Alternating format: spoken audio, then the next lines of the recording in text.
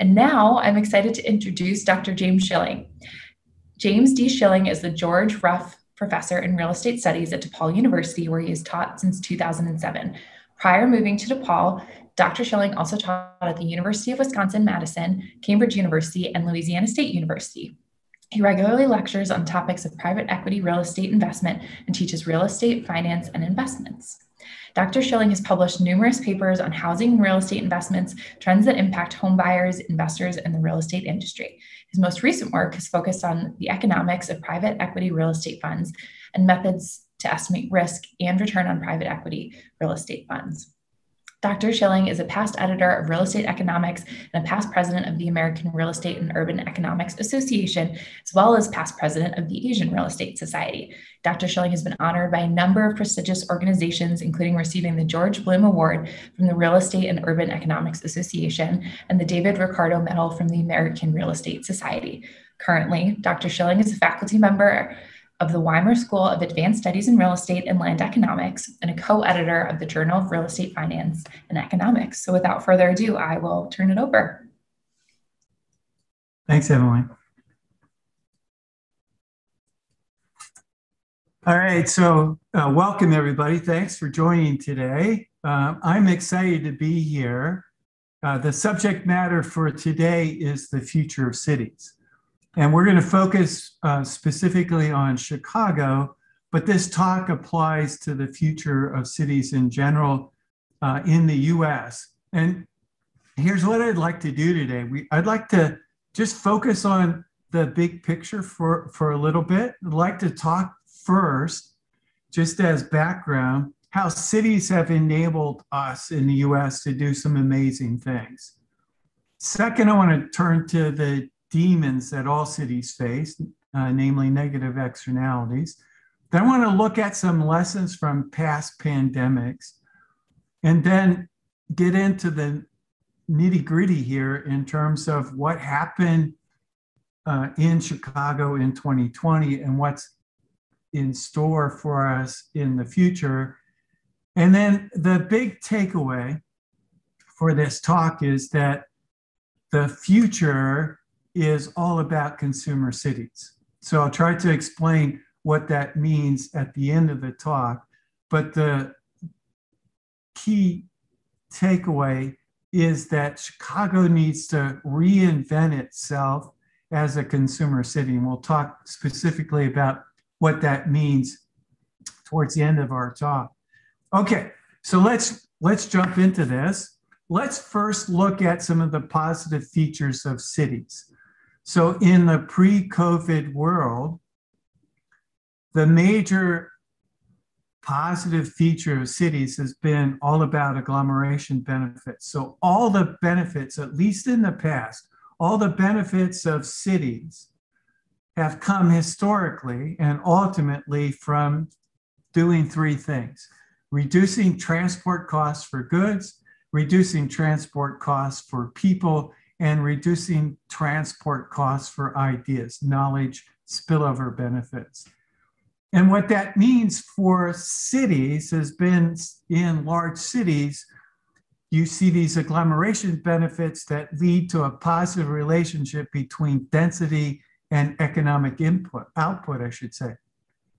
And that's what you're seeing in this very first slide. So in this very first slide, we're seeing where economic output is concentrated in the US graphically. And what we see here is that these benefits really are associated in places where there's huge clusters of companies, huge clusters of companies, i.e., the large cities uh, in the US. And you can see Chicago on the map and the economic output for Chicago, but you could see that this is a true statement for uh, for the US. And what I want to convince you is that this is just not a US story. If you look at economic output for the entire globe, you'll see this, you'll see a very similar story. You'll see a very similar story where the benefits have led to a positive relationship between city size and economic output. As urban economists or urban economists like to refer to this as agglomeration benefits. So just the major reason why we have cities is because of these agglomeration benefits, at least in the past, right? At least in the past. Okay, second point.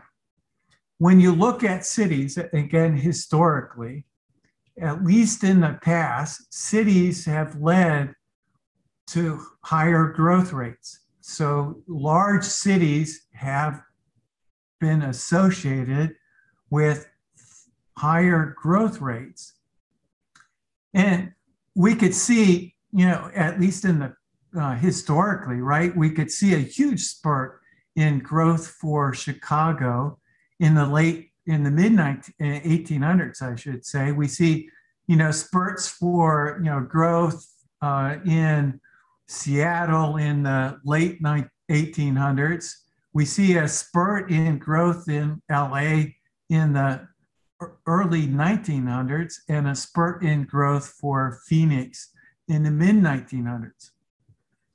And all of that is really reflecting the fact that the fast growing cities first included all of those that were industrializing rapidly. So it gets back to our principle that we said earlier that ultimately the benefits of cities come from three sources. It comes from the reduced transport costs for goods, the reduced transport costs for people, and the reduced transport cost of sharing ideas. So historically, it was all about industrialization and industrializing, and we see these huge spurts in growth for cities in the US.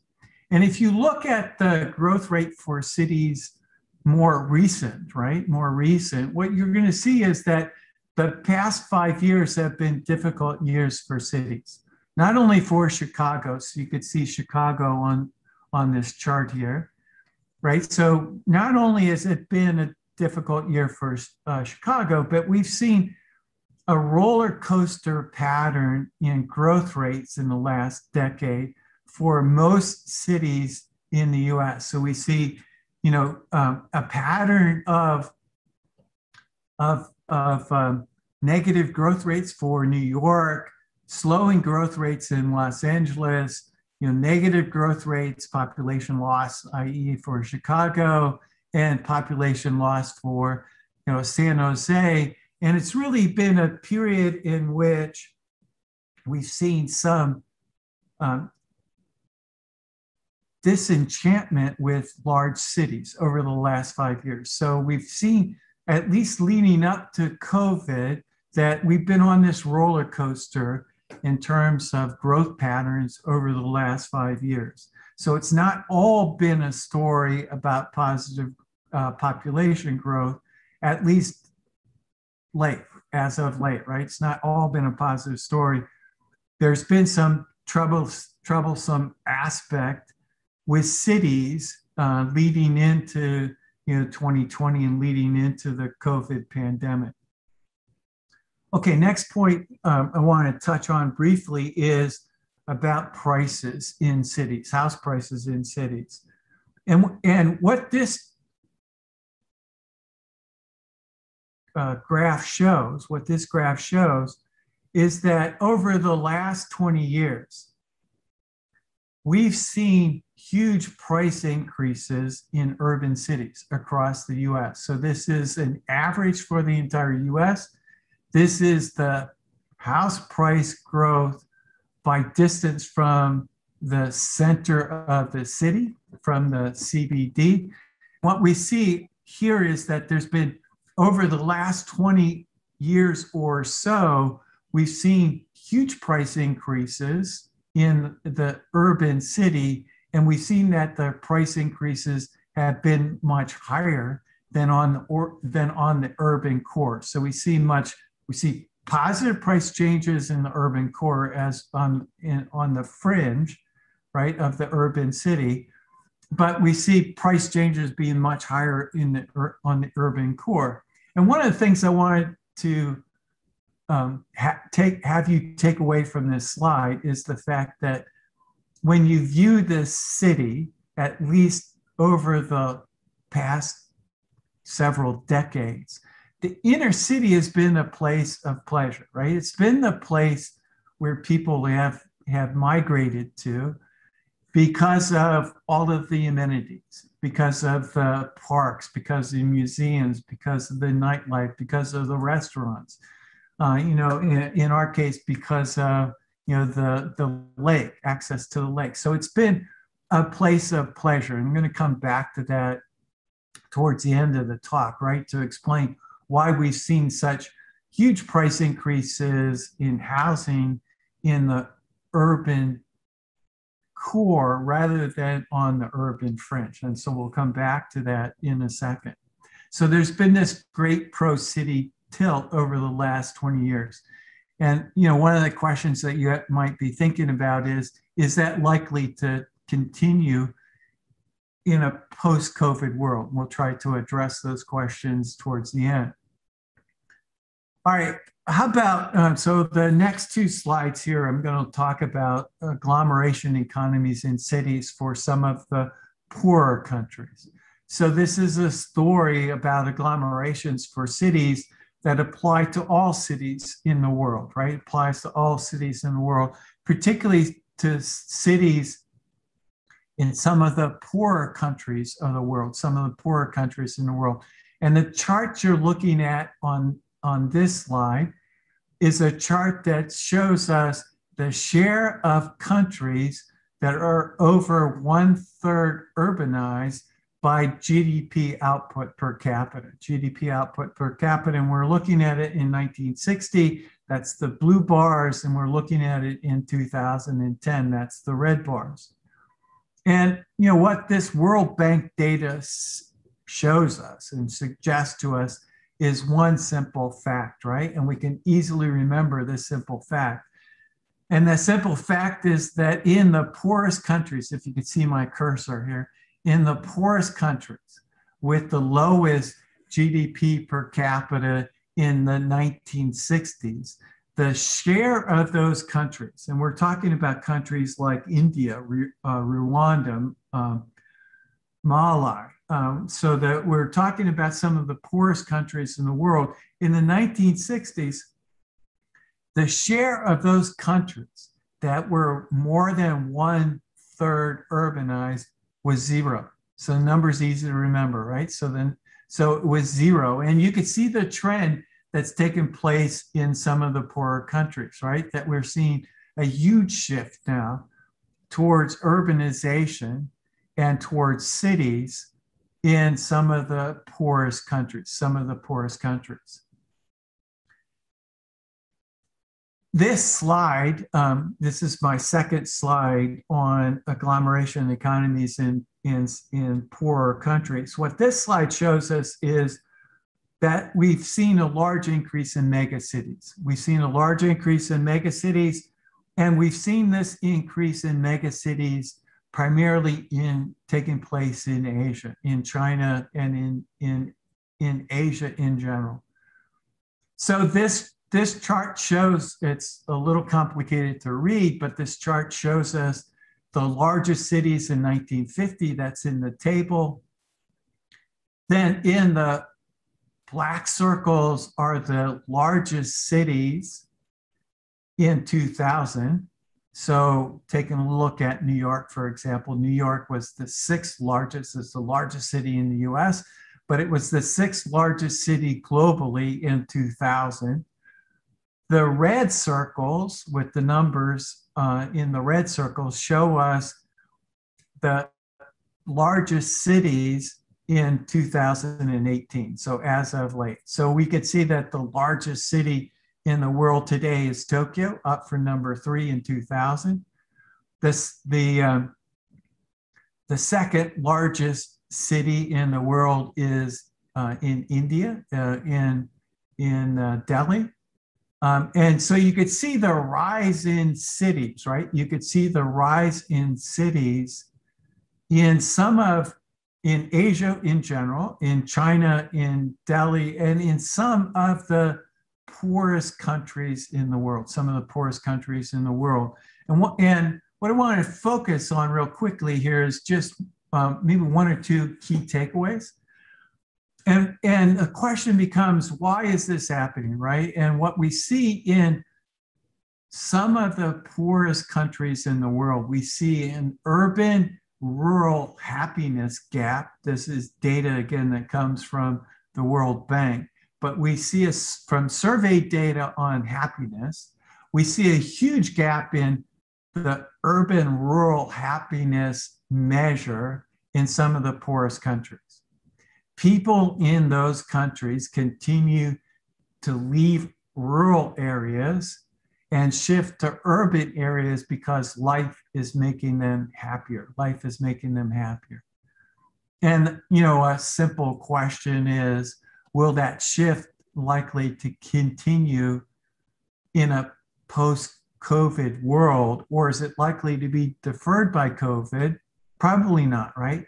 The gap is so big in some of the poor countries in the world that we're likely to see this shift continue from rural to urban, and it's likely to be undeterred by COVID. And the question is a little bit different for some of the richest countries in the world, and we'll come back to that in a second. So let, that question's slightly different for some of the richest uh, countries in the world. All right. How um, so the question here again is some of the amazing things that cities have done for us in the past. And the question becomes, how much value creation has there been in cities? And the answer is that it's been a lot. And a key takeaway here in this in this slide is that Chicago has been a value creating city. It's different from some of the superstar cities, the, mainly the tech hubs in San Francisco, San Jose, Seattle, um, San Diego, Minneapolis, Washington, D.C., or Boston. So Chicago is different from those cities. The average value creation in those cities, as measured by the stock prices of locally headquartered firms in those cities, scaled by their assets, a ratio above one means that the, the value created is positive. And we see huge, at the high end of this distribution, we see a huge amount of value creation in some of these superstar cities uh, in the US. When we get to Chicago, what's interesting about Chicago, we're in the middle of this distribution. And we're in uh, this distribution, we're in with the likes of Atlanta, Dallas, New York, Philadelphia, and Phoenix. And our average value creation has resulted in a stock price for locally scaled, uh, for locally headquartered firms scaled by assets of being about a 1.8. And what's different from the superstar cities is that this cluster in the middle is a fairly well diversified cities because we've got a large cluster of cities uh, or, or, firms in at, in Chicago, Atlanta, New York, Philadelphia, and Phoenix that are not simply all tech firms. They're, run the gamut across different segments, right? They run the gamut across different segments. So they're well, it's a well, it's a fairly well diversified cluster of firms in this middle distribution, all with a what we would call the Tobin's Q, the ratio of stock price divided by um, assets of about 1.8. So we're below where we where we where we see the superstar cities being, but we're above the low end of the distribution. We're above the low end of the distribution. And at the lowest end of this distribution, we see cities like Cleveland, Charlotte, Richmond, Hartford, Milwaukee, Houston, and Pittsburgh and I would characterize those as cities that were formerly manufacturing hubs, mainly in the Midwest and the Northeast. And some key takeaways, right? So when we talk about places like Chicago, we've got 110 headquartered firms here in, in Chicago that, that, you know, we're, that create this well diversified um, cluster of firms in Chicago. And most of this value creation seems to be about attracting the creative class. It seems to be about having a highly educated workforce that creates economic rent that leads to this value creation, leads to this value creation, at least historically. And to get back to our definition that we said earlier, right, that the benefits of cities ultimately, excuse me, ultimately come from one or three things. It either comes from a reduction in transport cost of goods, reduction in transport cost of people, or the reduction in transport cost of ideas. What we're talking about here is that as of maybe the last several decades, most of the agglomeration benefits and the value creation for these locally headquartered firms have come about because of the low transport cost of ideas, the low transport cost of ideas, i.e., knowledge spillover benefits. Right? Firms are more valuable, at least historically, when they cluster in dense urban areas because of these knowledge spillover benefits. All right. Um, issue number two here. So those were the amazing, some of the amazing things that cities have allowed us to achieve, at least historically. Now, there are demons associated with cities. There are demons associated with cities, and um, urban economists like to call those demons negative externalities. They like to call those demons negative externalities. And firms in value creating cities that we just looked at have experienced two sorts of negative externalities. One is huge increases in wage rates that reduce the value creation for firms.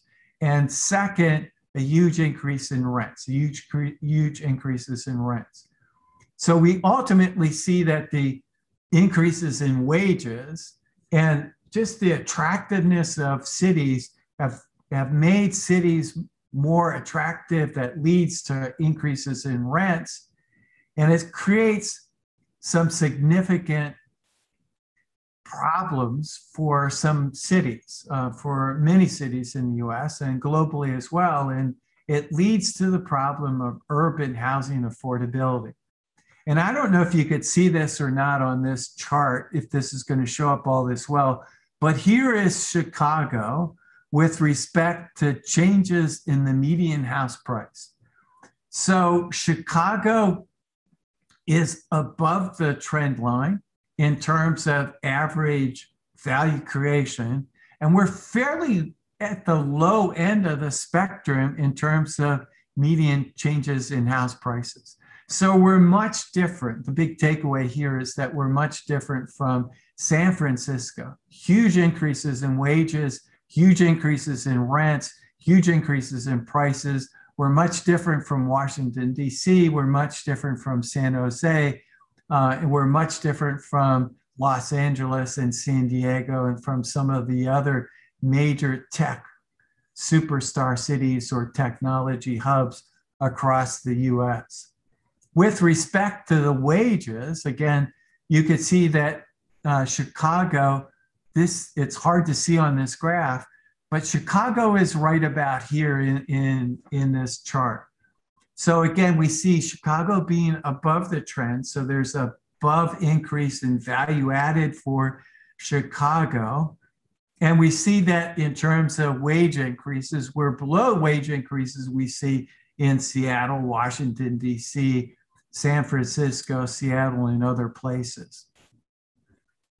So a couple of, of takeaways here, right? A couple of takeaways here. So ultimately, as we've seen this increases in rents, it leads to affordability problems, housing affordability problems for major cities across the US. Ultimately, it's a supply problem, right? So ultimately, it's a supply problem. With the lack of building, but an increase in wages, that causes another negative externality for most cities, which is this issue of gentrification.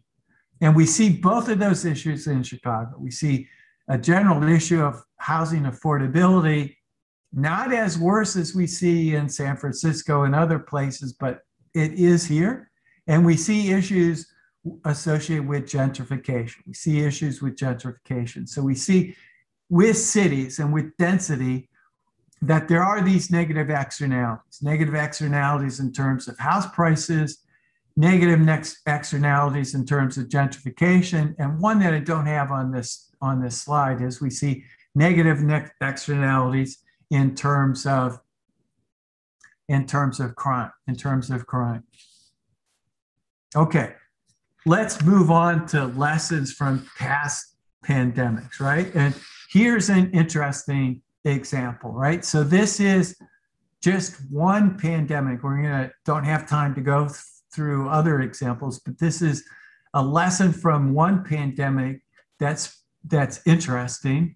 And the pandemic that we're going to look at is the 1918 to 1919 influenza pandemic. So the first takeaway is that pandemics are not new to cities and they're not new to urban areas.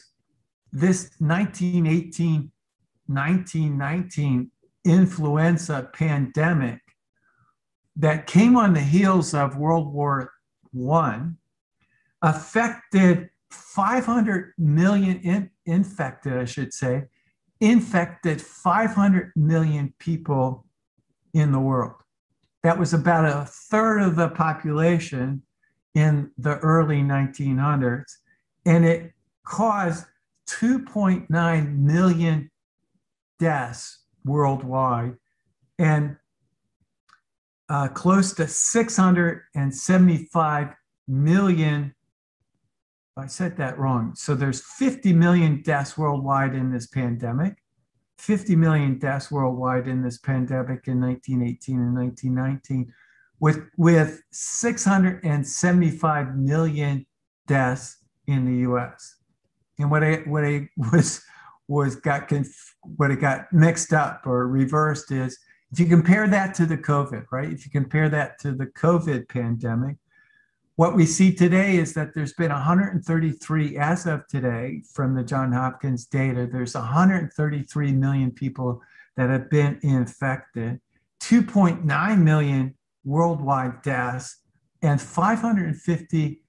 559,000 deaths in the US. And that's a sobering thought, right? That's a sobering thought. So, roughly about the same number, we're talking about the same number of deaths from the COVID, as we saw in the 1918, 1990, uh, 1919 influenza pandemic that affected the world. And it came in three waves. It came in the spring of 1918, the autumn of 1918, and then the winter of 1980, 1918, and 1919. And in some places, in you know, still lingered and influenced you, the influence was felt in the ni- 1920s as well. Research suggests that this pandemic emerged first in China. And you could see that um, here's a just a picture from the Atlantic of policemen standing in the streets of Seattle wearing protective masks. Here's another picture of workers wearing masks on their faces in a Red Cross room again from the Atlantic. And here's the big takeaway, right? Here's the big takeaway. If we look at urban growth rates for rural and urban population over the period 1880 to 1950, you're, you're going to see on this chart big blips during the pandemic, the 1918 pandemic. So we're going to see huge blips, right? So we're at the end of World War One, the war to end all wars. There were 117,000 deaths in in the U.S. from World War One, 53,000 from combat. The rest were from disease, and including the pandemic. The pandemic itself, as we mentioned, took the lives of 675,000 individuals in the U.S. And that had a huge impact on not only urban growth rates in the US, but also rural growth rates in the US. And so we saw those things drop significantly. And, you know, the upshot though is that growth rates, at least during that time period, recovered soon after, that they recovered soon after. And I liken this to the fact that you can't stop supply and demand.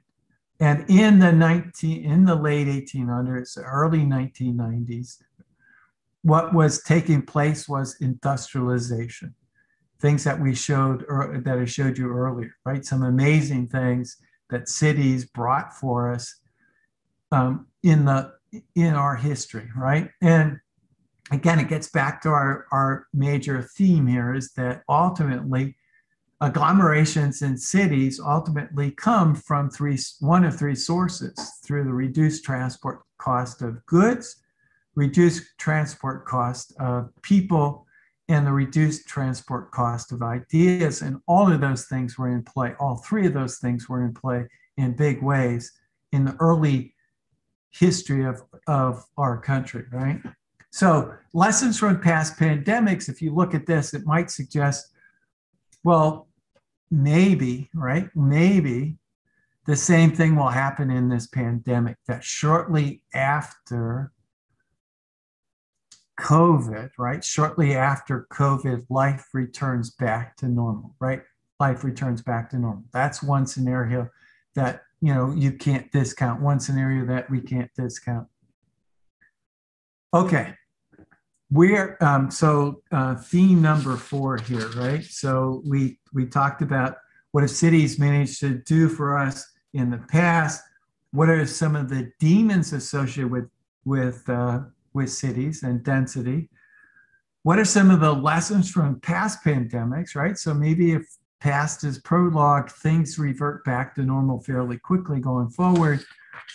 And now let's turn to to look at what happened in 2020 and what's ahead for us, right? What's ahead for Chicago and what's ahead for most cities in the US going forward. So here's a couple of, so I've got six slides on this in terms of what happened in 2020, right? So let's just kind of walk through these things real quickly. So if you look at the overall economy for the US, what you what you would have seen going into COVID is that we were, the economy was in the longest expansion in our history. So we had the longest expansion from June 2009 to February 2020 in US history, bar none.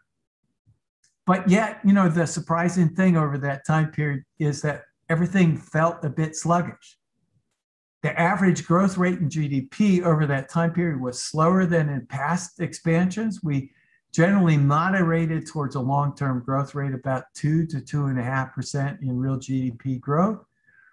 And then there were other symptoms of moderating growth, right? We saw persistently low interest rates and we saw uh, persistently weak inflation rates over that entire time period.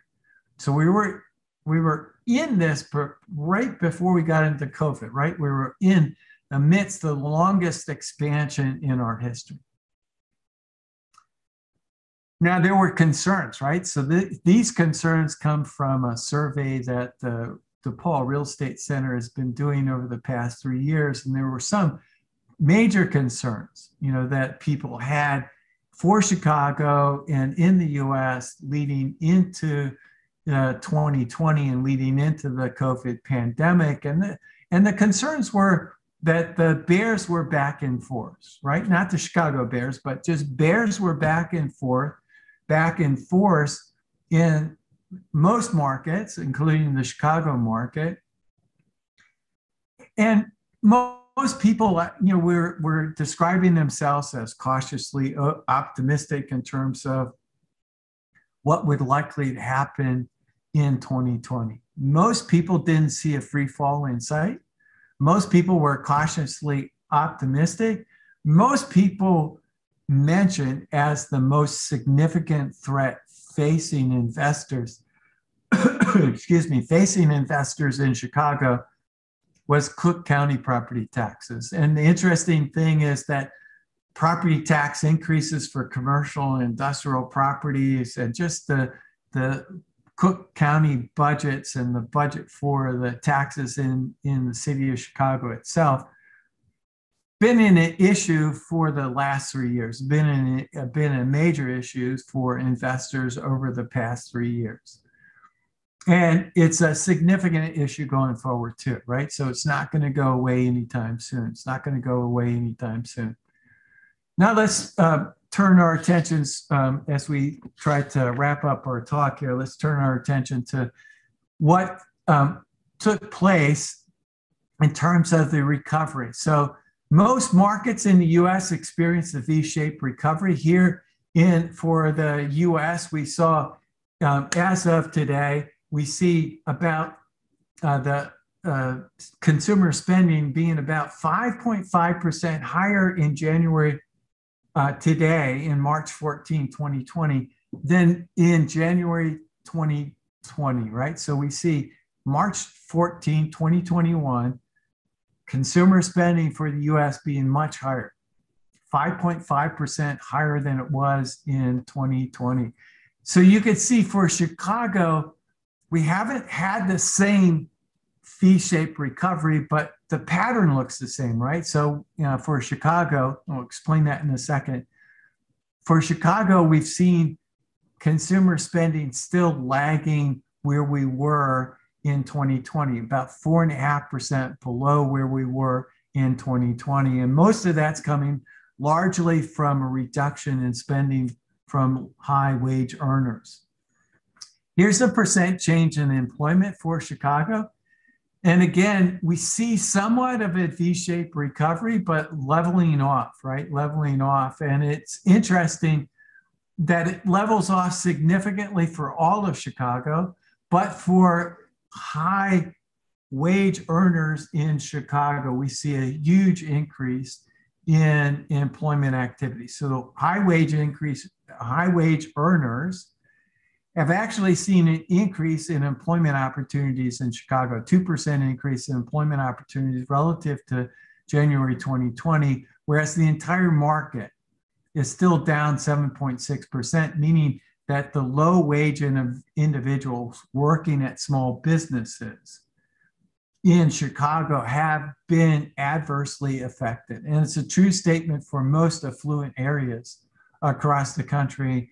And again, we'll come back to explain why that displacement among the low wage earners have taken has taken place over time. Here's a, a chart that I love that just shows the percent change in all consumer spending for Chicago. And we broke it down by healthcare, restaurants, and entertainment. And I think the results on this slide are pretty intuitive. And what we see is that spending for healthcare is still down below where it was in 2020. We're 11% below where we were in January 2020.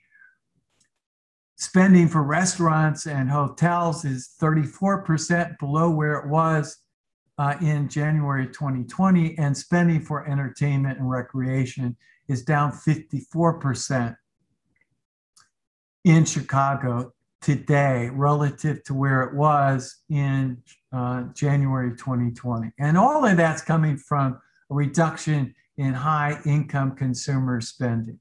And it's not because they haven't saved money, they, they saved a ton of money over that time period. But I think it's simply out of concerns about COVID, out of concerns about COVID. One last point about uh, this is, I think, my last slide about the impact over this time period.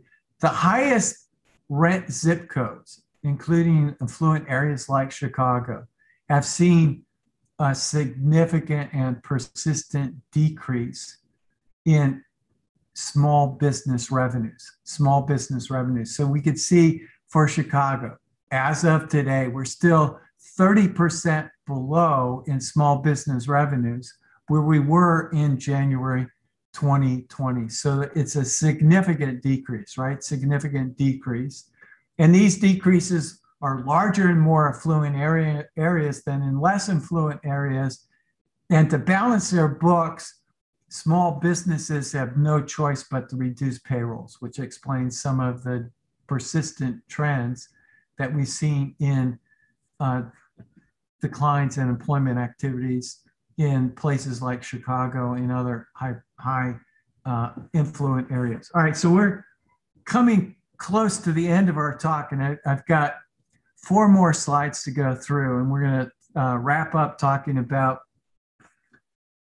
the future being all about consumer cities. So there are two um, really important questions we want to get to. But first, here's some implications, some takeaways, right? So given this V-shaped recovery, given the, all the savings that have taken place by high wage earners, and the fact that with the vaccine rollout, it were Chicago should be disproportionately benefited. In 2020, we should see economic growth accelerate. And we're probably estimates are we should see economic growth reach about four and a half, real GDP growth for the US reach about four and a half percent. And there's going to be several positives for the market. High income households have built up a lot of savings. That means a tremendous increase in savings on all the things, or spending on all the things that we just talked about. It means positive things for the housing market. The low interest rates are positive for funding, positive for housing market. You recall we have attractive pricing in Chicago relative to a lot of the major metropolitan areas or high priced uh, metro areas. So that's a positive for Chicago. But at the same time, there are some negative things. And the pandemic's likely to exacerbate some trends and reverse others. And it may be that we'll see a shift to more affordable areas. So let's look at two questions to wrap up and then this, this big takeaway. So the first question is this what if COVID persists, right? So, what if COVID persists or we see a new pandemic appear, right? The, the UK strain. So, what's likely to happen? Not much is likely to happen if you think back to our, our story about poorer countries. Not much is likely to happen to urban areas in poorer countries. But it's likely to, for rich cities, you know cities urban areas in in richer countries the risk remains large right the risk remains large right so nick wealthier nations need to take extraordinary steps to ensure that this risk of this new pandemic doesn't doesn't doesn't occur. That's the first takeaway. Second big question is this. Over time we've seen incomes rise. As incomes rise quality of life becomes increasingly important determinant of where somebody wants to, to locate. And it makes it extremely important for cities to attract these high knowledge, high income, knowledge based workers. To attract those workers, it means that cities need to become attractive places to live. So if in this new world, if workers, if knowledge based workers can work from almost anywhere on any device, the biggest question that's facing us, that's different from past pandemics, the biggest question that's facing us is why not live somewhere you find pleasant, right? Because going forward in this knowledge-based workers where you can work from almost anywhere is not really about lowering transport cost of ideas, because we can lower those through Zoom, through Google Meet, through almost any device that you want to talk about.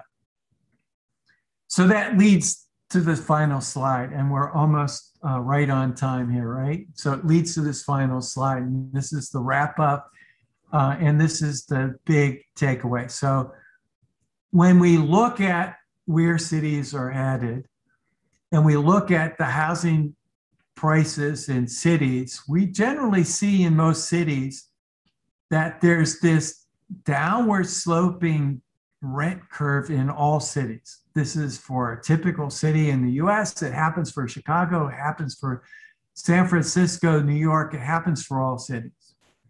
the likely effect of having this new technology and workers being able to work from almost anywhere on any device means that what we're likely to see is a flattening of this bid rent curve, lowering of prices potentially in the urban core, and an increase in prices on the urban fringe, more urban sprawl.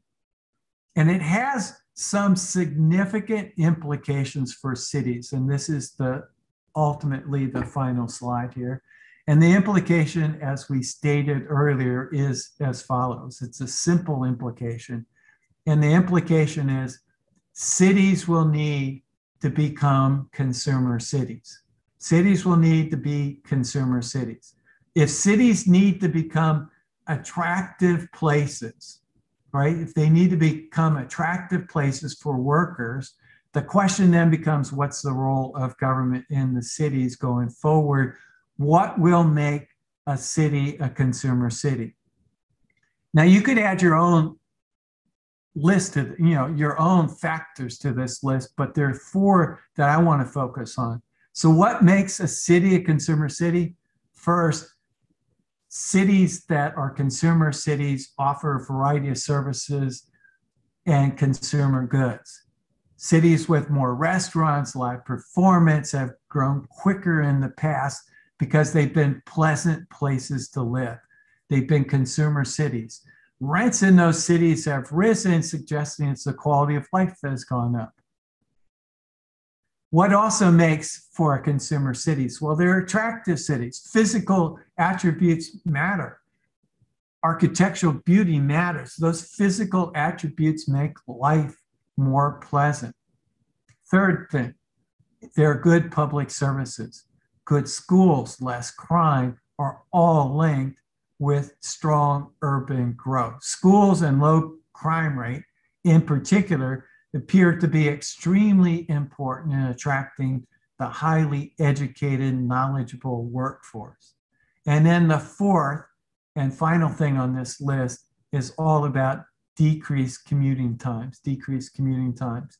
Been extremely important in the past. So transportation patterns been extremely important in the past for, for making cities consumer cities. And again, you might want to add some more factors to this list, but the point is we're in a new economic environment. If workers can work from anywhere on virtually any device. Why not work at some place you find pleasant? And the big takeaway for the city of Chicago is we need to focus on what makes us an attractive place for workers and makes us a city that will be a consumer city competing for these attractive, these highly educated, highly mobile workforce in the future. So those are my ideas, guys. I'm going to stop there and open it up for Q&A. Thanks very much. Awesome. Well, I know I certainly found that fascinating. Um, and I'm so appreciative of, of you taking the time to lead this webinar. We do have two great questions to get started off with. Okay dive in. And again, I'll just reiterate, if anybody has additional questions, feel free to submit them using the Q&A feature, which is at the bottom of your screen. Um, so first, um, to kick things off, um, this person writes, New York Times published an article today that describes declining office occupancy rates that haven't been seen in a generation. Yeah. Um, to what you were speaking to. Do you think these properties could successfully convert to residential uses, or might there be less demand for living in cities more generally? Great question, right? So, you know, it gets at the heart of what we're talking about, right? It gets at this heart. So it gets at this notion that uh, there's a there's been a recent survey by the National Bureau of, of uh, Business Economists that suggests that households going forward in the US would like to work as much as two to three days from home in a post COVID environment. And that has huge implications for office markets in urban areas. So if if you don't need to be in close proximity for this knowledge spillover to occur, you can easily work from home. So that means that office firms will start to figure this out that they could save on rents by relocating to satellite cities or relocating where their highly educated workforce will want to locate. So we're starting to see some of that already take place where we're seeing New York firms locating to Miami and Florida, right? So so it's the it's this notion that we're starting to see some of this come into fruition. And then the question becomes what do you do with all that leftover space, right? What do you do with that leftover space?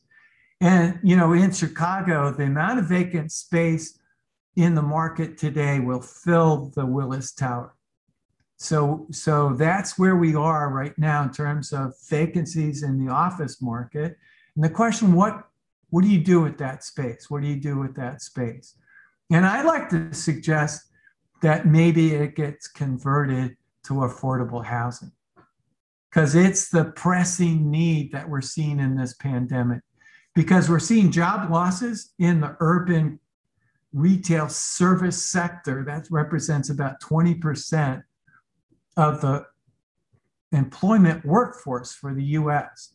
And, and that means increased housing affordability problems in most urban areas throughout the US. And the pressing need then is for how do you address these this affordable housing concern? And maybe you know this you know going forward we'll see some conversion to affordable housing. That would be my response to that question. Great, thank you. Um, our next question is um, just more of a clarifying question. Um, this person asked, could you clarify something? When you say cities, do you mean just within the city limits? Are you including the entire metropolitan area? Um, for example, when you say Chicago, do you mean the city of yeah. Chicago? Are you including um, companies and populations in the larger metropolitan area? And would you also include the suburbs? An easy example I'm thinking of would be like McDonald's. yeah, good question. Good question. So this gets at, at this question of what is a city. So it's a it's a spot on kind of question, right? So, um, and the definition that most people have when we when you do a talk like this is the broader definition. So for Chicago, when you ask what is a city, it would start from Kenosha and it would go down um, to Elgin and and it would go you know into you know, maybe as far, you know, into uh, Michigan City and Indiana, right? So it's the broader based definition. And, you know, we've seen in the city, we'll see sprawl take place. That's, that's kind of the point, right? Is that we'll, we'll, we'll see workers maybe not relocating from Chicago to Phoenix as much, but maybe relocating to the, to uh, suburban core and interestingly enough, I don't know if we have a question on this, but interestingly enough, that's exactly where you're starting to see the hot housing markets take place, right? And we're seeing people on the urban fringe paying as much as 50,000 in excess of listing price just to get their bids accepted in today's market. And much of that comes from the work at home, people wanting to expand their space and get more space. And where do you go to get more space? You go on the urban fringe where prices are lower to consume more housing services. And the market is rampant right now. Definitely. We haven't gotten a question yet on that, but my, my personal yeah, question. Um, the next question is about the value cluster rankings. This person asked, where does Los Angeles rank high, medium, or low? Um, and why did Houston land so low in, in the category? And he also asks, was that because it's a Sunbelt city or does it rely too heavily on oil and gas?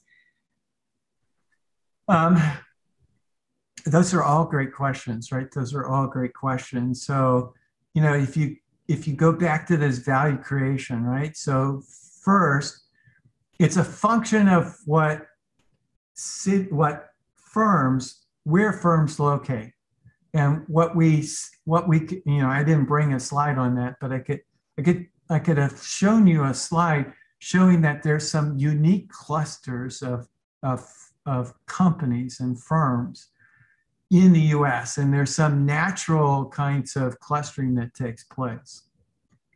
And as I tried to indicate for Chicago, our cluster is a fairly diverse cluster. And that diversity means that we're in some tech sectors, but we're also in some, you know, agricultural sectors as well. And so there's this broad range. And that creates the, the when you average out for the 110 firms in Chicago, you get an average value added about 1.8. And, and so then you look at some others. I can't remember all the cities that, that we wanted to look at, but if you look at Houston, again, it's it's it's a sector kind of story, right? We're talking about oil and gas, and as we go through periods, and this was a long period of time where we were looking at the value creation over a 50 year time period that you go through period cycles, right? You go through period, you go through cycles, and as you go through booms and busts of oil, um, oil prices, you would see, you know, greater value creation in places like Houston. And when we're starting to see prices of oil come back to normal, you see that value creation, you know, somewhat dissipate, and so they're uh, an average slightly below where we were in Chicago. So hopefully, hopefully that answers that question. Definitely. Thank you. Um, and we just have about two minutes left, so we'll okay. make last question. Of course, and be mindful of your time and everybody on our call today. Um, this person asks do you think that since so many companies have seen success with work from home solutions during the pandemic, we may see more outsourcing internationally, potentially to countries like India or um, or others? Yeah, it's a it's a great question too. So, um, you know, I'm going to answer that question uh, by posing the, the question slightly different, right? Which is, do in our previous history, right, in the history of the US, we saw industrialization being a big part of agglomerations and economic output. Do we expect US cities become more manufacturing oriented going forward? And then the answer is no, right? So I don't expect cities to be becoming more manufacturing oriented so we'll still, you know, you know, we'll still see, even though there, we in the pandemic we saw some supply disruptions take place. I, I still believe that you know knowledge base is the driving force for economic growth in the U.S. and not manufacturing base, right? And I'll you know I'll stop there. Yeah, absolutely. Well, um, we can wrap it up for today then. But thank you again so much. Like I said, I know I certainly learned a ton. I hope everyone else who joined us on the call today. Thanks, did, everybody. yeah. Um, and yeah, everybody have a great afternoon. Um, sure. thank you yeah. And thank you. Hopefully, we will see you at some future events. Thank you.